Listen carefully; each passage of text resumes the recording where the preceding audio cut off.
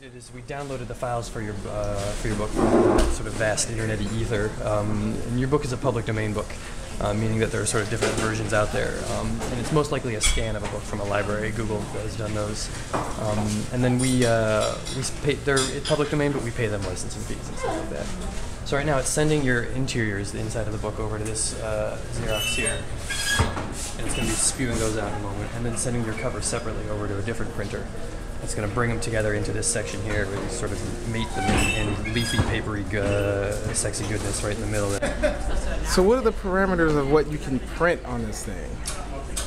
What we do at this point is is custom publishing. People bring Okay. in their own stuff, um, but that's just by quantity. Because sometimes folks want one copy, sometimes they want a couple hundred copies. Okay. So we just sit here and churn them out. You know? Got it, And got that's it. kind of the benefit of the thing is that we can do one, we can do a couple hundred. Where traditional. There aren't that many stores that even have something like this. Uh, it's pretty new to the market, but it seems like people are really enjoying it, really like getting into it. Because I, I know that it's been like a rev up since it started. Yeah, no, and for sure. We're the first one in New York, um, which is kind of a big thing. People have heard about it because there are a couple out there in the world, and there's been a little bit of buzz about it for a couple of years. Um, but then to come and see it in action is like a whole other thing entirely.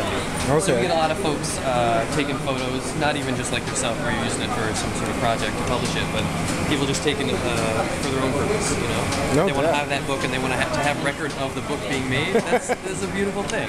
All right, so here's your book. Uh, right now, it's going to start the, the uh, binding process. What's that? So down below here, you see that uh, that's your glue pot moving across, Okay. um, and it's going to put uh, just a thin layer of glue along the spine of every single page here. So it's roughed it up, it's put some glue on there, and now it's pushing your spine down and holding it against the cover of the book. Nice. Um, and you know, more traditionally, this takes a longer time because of the glue. But this glue is, is designed to dry pretty quickly.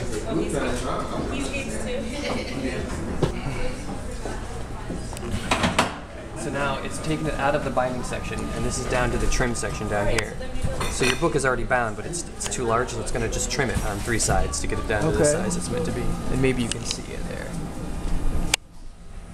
It's moving down.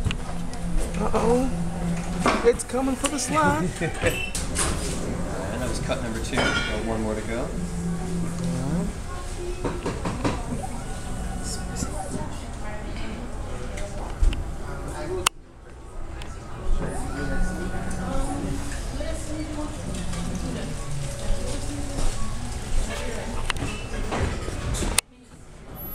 That's what machine.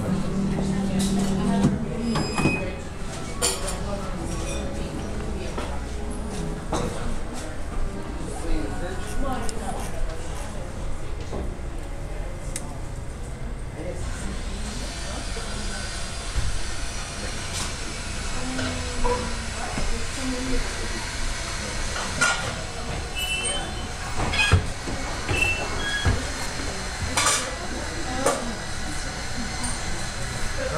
comes. There you go. Oh man. It's the book. So it's- one. Two hands to get this one out of here. There you go. There it is, Frank Norris. Rediscovered American works. classic you're bringing back in. Woohoo! I don't That's think how we do. I, uh, I feel like there's good money that nobody in this store or nobody who's going to come into the store today has read Frank Norris other than you. Man. Wow. You're bringing him back to life. All right, there it is. Hey,